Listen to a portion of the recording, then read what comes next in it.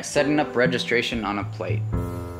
So we need registration to know where we're placing our paper on the plate uh, when we're, we're in the printing process. So first off what I want to do is I want to extend the edges of my image in pencil with a ruler. So you see I'm lining up with the edge and then I'm drawing the pencil line all the way across the plate on all my edges. This is going to give me something to measure off of for my for my paper uh, registration. So you can see I have a 10 inch border here, or 10 inch image by an 18 inch image. I can write this on top of the, the plate because this is under a gum film. And so this is really this just graphite sitting on gum, but I wouldn't want to use something greasy or a pen. So I'm taking the paper image or paper size and subtracting the image size. So I have 15 by 22 paper, subtracting the 10 by 18. This gives me my total border space, which is 5 by 4. But I need to split that in half because each each of these measurements still has has has to be split between two edges of the image. So I have two and a half by two. So I'm going to use those calculations to map out the paper border. So I know I have two inches at the top to work with and three at the bottom. So this was my two and a half image. I'm giving that extra three inches to the bottom of my image weight. And then my other borders, so I'm connecting those once I've made those measurements. My other borders are gonna be two inches as well.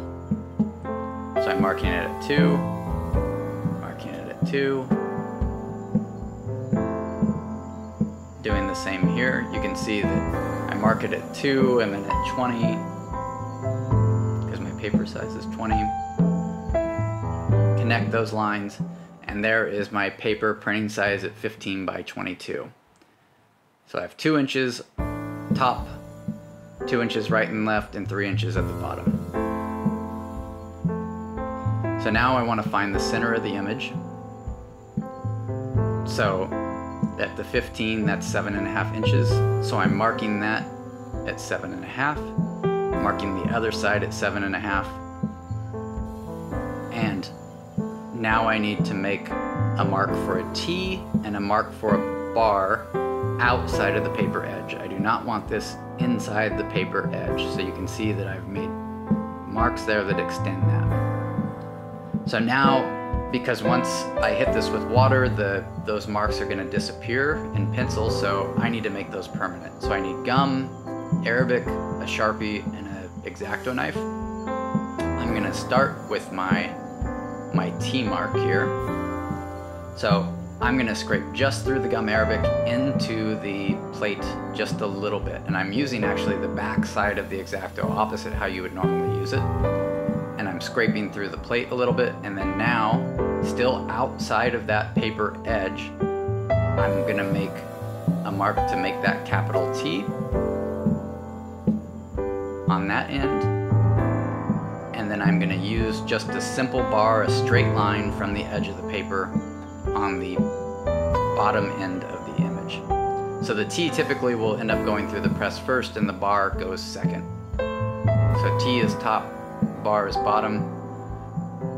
Now I wouldn't be able to see these in, these lines still, they'd be really light scratches in this. So what I want to do next is I want to take my Sharpie and go over those marks where I made the scratches. So I want to make sure that there's Sharpie going into those marks.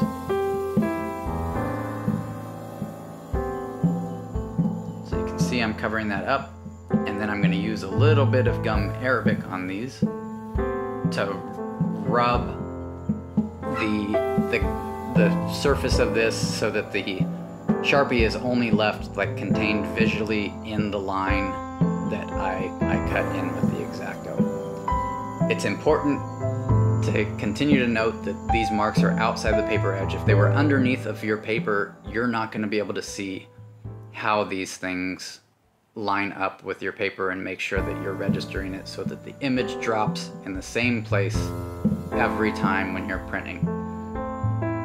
So I'm rubbing this in, making sure once again that it's all the way in to just those lines and then I'm gonna wipe off the excess gum with a paper towel. Make sure that you don't wipe that towards your image.